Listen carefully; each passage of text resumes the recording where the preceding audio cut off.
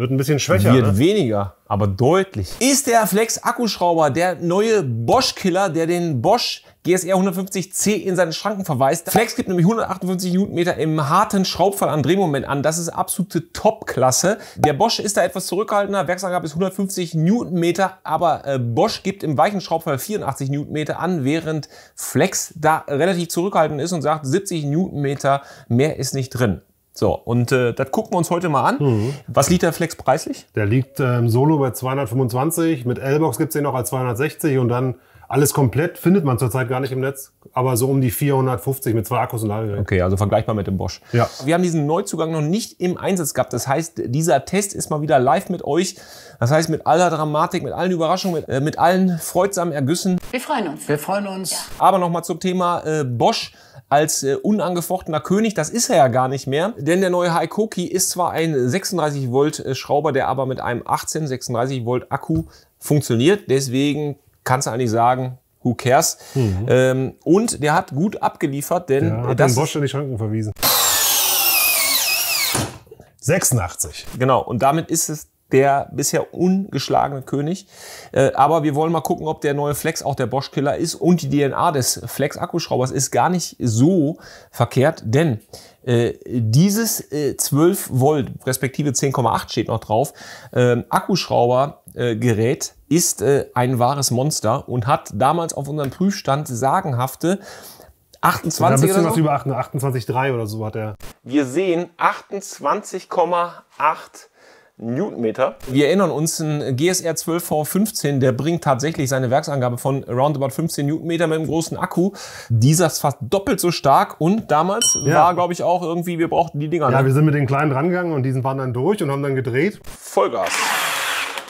Und deswegen mussten wir mit den dicken dran gehen, was wir überhaupt nicht. Wir hatten gar nicht den Testaufbau für das, was wir damit dann Ja, gerissen also haben. Ne? wir haben es nicht erwartet, äh, auch stärker als Milwaukee. Und äh, dann hat Flex auch nochmal so einen Kandidaten rausgebracht, der erinnert so ein bisschen an den Fein oder auch vielleicht an den Viergang von Festool.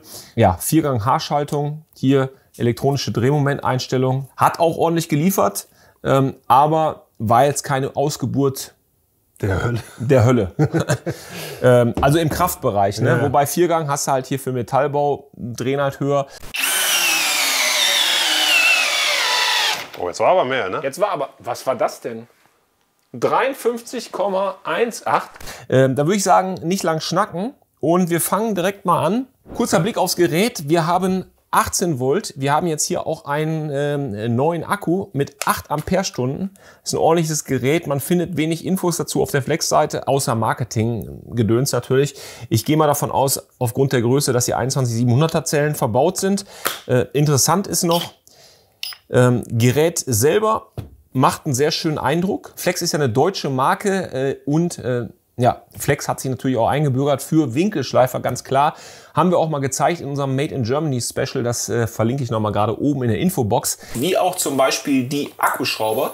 Haben wir euch auch schon mal gezeigt. Tatsächlich ist aber Flex mittlerweile in ähm, fernöstlicher Hand. Das haben nämlich Chinesen gekauft.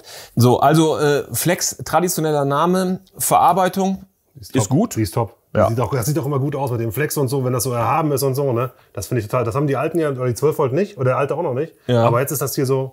Ja, die haben das hier ähm, sieht schön als. Struktur mit eingegossen. Ich denke, das ist auch direkt im Guss drin.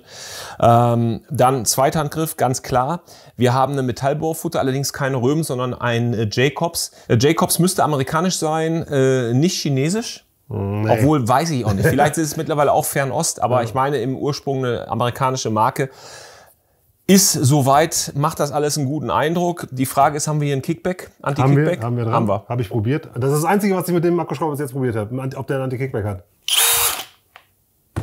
Ah, interessant. Soll ich mal gegenhauen? Ja. Interessant. Das reicht noch nicht. Das ist nicht genug Kraft. Nee, aber weißt du, was ich glaube?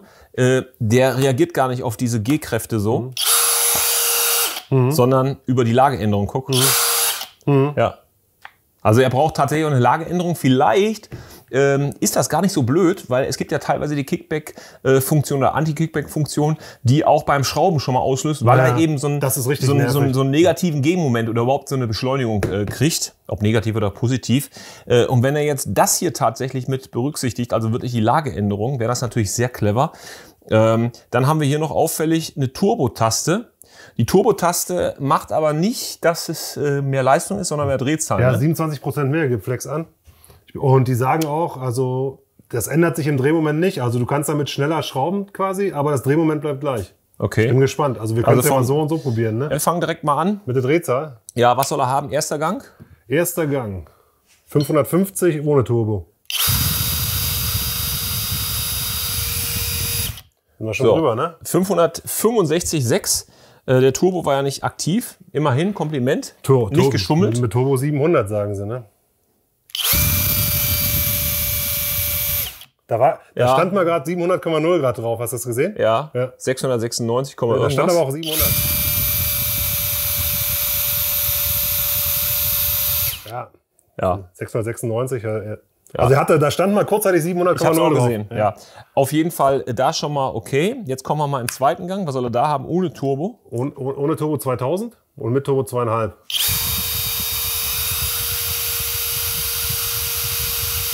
...1990.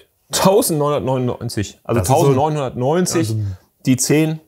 Ja. Das ist bis jetzt einer der ehrlichsten Akkuschrauber, die wir hatten in Drehzahl. Und jetzt bei Turbo? 2.500.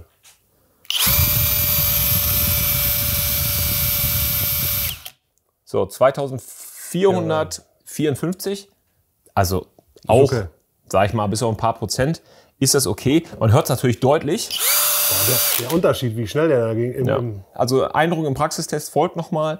Ähm, können wir demnächst euch auch nochmal live zeigen. Am 13.12. sind wir hier live abends in geselliger Runde mit Igor äh, und schweißen wieder. Das ist der schönste Punkt, den ich je in meinem Leben gemacht habe. Ja, finde ich auch. Aber nicht nur schweißen, wir wollen auch nochmal was testen und Was essen? quatschen, was essen. Wir können ja mal eine Currywurst mit dem Schweißgerät erhitzen. aber kriegst du den Lichtbogen nicht hin. Ja, musst du mit Metallpulver würzen.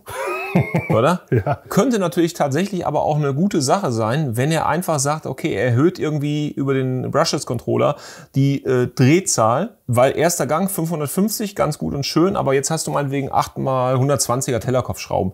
Da hast du ja noch Reserve. Die würdest du auch wahrscheinlich im zweiten. Aber wenn du irgendwo vielleicht zwischen ersten und zweiten so, so einen Step hättest, dass du es nicht schaffen würdest, aber im ersten einfach noch ein bisschen Drehzahl mehr gebrauchen würdest, also mehr Speed. Könnte ich mir gut vorstellen. Interessant haben wir so auch noch nicht gesehen, ne? Ja, und im zweiten auch schon für Metall. Ne? Ist das wahrscheinlich interessant, wenn er noch ein bisschen mehr dreht. Ja. Ja, klar, da brauchst du natürlich, äh, je kleiner der Durchmesser, desto höher brauchst du Ja. äh, die Drehzahlen. Ich sag mal, dafür sind ja auch die äh, Viergangschrauber gedacht, die da so bis 4000 gehen in etwa. So, ich bin echt gespannt. Was auch. meinst du denn? Ich denke, der bleibt. Also an die Werksangabe knackt er auf jeden Fall, wenn er so ist wie der 12 Volt und der alte. Warum haben sie denn nicht mehr reingeschrieben? Also, ich denke- ich denke mal, der- der die waren an- ja momentan, also die waren ja bislang ehrlich. Ich denke mal, Deshalb 70 denke macht er, ne? 70 müsste er nicht machen. Wenn er keine 70 macht, wäre es enttäuschend. Wäre wär schön, wenn er mehr macht, weil dann haben wir Okay, vielleicht komm. noch einen König. So, 3, 2, 1, los. Jo, 71. 71, 1,7. Krass. Gut. Also er hat relativ schnell gedreht. Ja, Ne?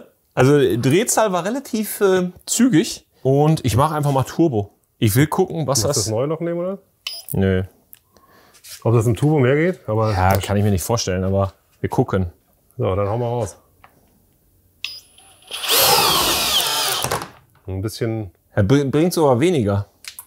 Hast du nochmal Turbo drin? Nee, jetzt ist, Nee, jetzt ist nochmal ohne Turbo. Ich habe ein Reset gemacht. Ah, 3, 2, 1, los. Ja. Wird ein bisschen schwächer. Wird Ne? weniger, aber deutlich. Ist der denn warm?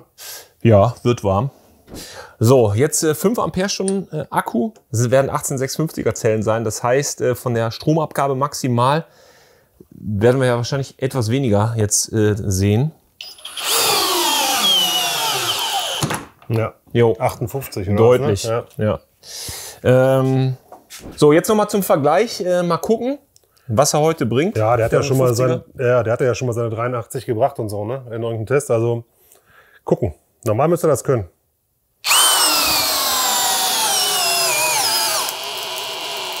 Alter, der kämpft. Der kämpft. Ja, 75,1. 75,1, ja. Das ist unter der Werksangabe, aber reiht sich so ein in dem äh, Bereich, den wir auch er, bisher er, er qualmt wieder. Der, der Akkuschrauber? Ja. Oder Ja. Doch, hier. Ich habe ja gerade Qualm auch kommen sehen. Mhm. Aber warum? Der ist doch. Oder ist das schon wieder ein neuer? Zu dem Thema Qualm, wir haben ja die Folge gemacht, endlich Nichtraucher. Und, und, und, Rauchzeichen. Guckt euch nochmal an, da haben wir den Burschen oder seinen Kollegen wirklich gequält ohne Ende. Ja, auf jeden War Fall. äh, auf jeden Fall mit der anstrengendste Test.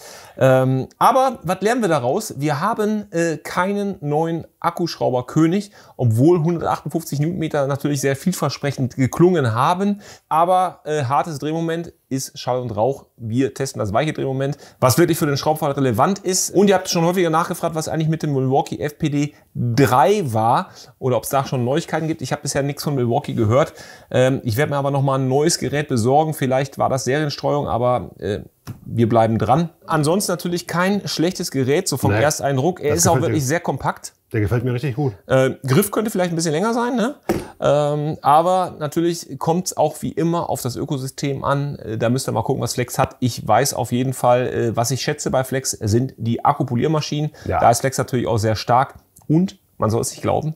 Auch Winkelschleifer hat Flex, glaube ich. Aber getreu dem Motto, ihr kommentiert, Brockschmidt spendiert, hauen wir wieder einen raus. Und zwar verlosen wir einen richtig schönen Profi-Akkuschrauber. Wie immer unten in der Videobeschreibung verlinkt. Und was sollt ihr machen? Hashtag Akkuschrauber. Einfach mal eure Meinung hier zu dem Flex und äh, eure Meinung zum Video. Und ob ihr das alles gut findet und ob ihr gerade gute Laune habt. Wo wir gerade Adventszeit haben, es gibt auch Bescherung und zwar jeden Tag bis zum 24. Dezember bei uns. Ja, und äh, in diesem Sinne, macht's gut, bleibt uns treu, Ja, bleibt uns folgsam. genau. Abo, Knopf nicht vergessen. Daumen und, hoch äh, und für dich, ne? dann freue ich mich immer, ja.